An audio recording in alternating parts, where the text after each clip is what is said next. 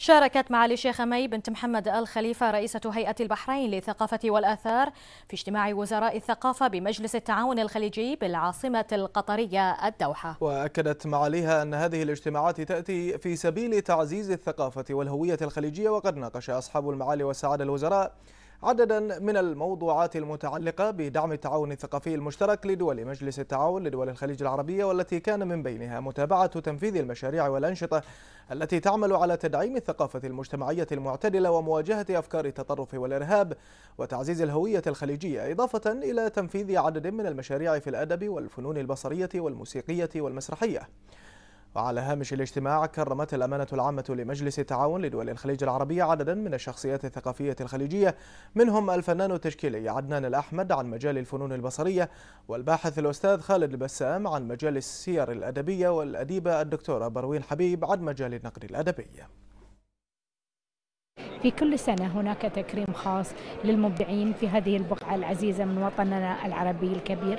رواد الخليج مبدعيهم في الفن في الموسيقى في مجالات الإبداع شتى. يتم تكريمهم في هذا اللقاء السنوي. فخر لنا أن نكون حاضرين لكي نشهر تكريمهم ونكرس حضورهم المهم في حياتنا. أولا هذا التكريم ليس تكريم لبروين حبيب فقط. آه قلت في ختام خطابي أن هذا تكريم لمعظم الإعلاميين الجادين الحريصين على فكرة تلفزة الثقافة. تكريم لأجيال سابقة حملت شرف البدايات. تكريم لليلى رستم الإعلامية الكبيرة تكريم لأحمد علي زين لكوثر البشراوي لزاهي وهبي لأصدقائي اللي عملوا على فكرة تحويل كل شيء أدبي ومعرفي مرئيا. هذا تكريم تكريم أيضا لبلادي البحرين.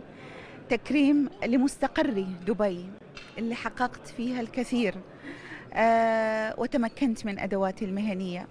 وأهدي هذا التكريم لبلاد البحرين. آه هذا التكريم ليس لي أنا شخصيا كفنان وإنما لكل الفنانين البحرينيين.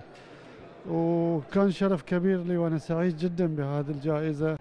وأريد في هذه المناسبة أن أشكر الناس اللي لهم فضل علي في الوصول إلى هذا الشيء آه، سعادة الشيخ راشد بن خليفة الخليفة شيخ الفنانين في البحرين ومعالي الشيخ مي الخليفة اللي كان له دور كبير في دعمي ومساندتي للوصول لهذا الشيء.